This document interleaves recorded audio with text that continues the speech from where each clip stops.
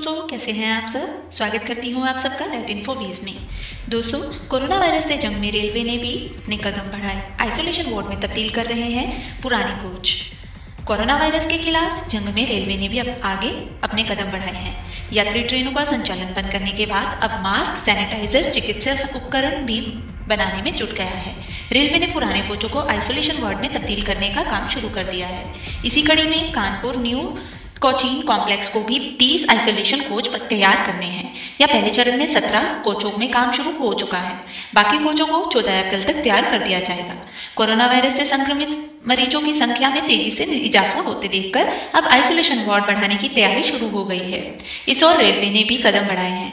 Corona virus से संक्रमित मरीजों को क्वारंटाइन में रखने के लिए सात बेड लोग अस्पताल और छह बेड अनवरगंज स्थित आरपीएफ की छोटी वेकर में व्यवस्था करने के बाद अब आइसोलेशन वार्ड तैयार करने में रेलवे जुट गया है। इसके लिए रेलवे ट्रेन को पुराने कोचों का इस्तेमाल किया जा रहा है।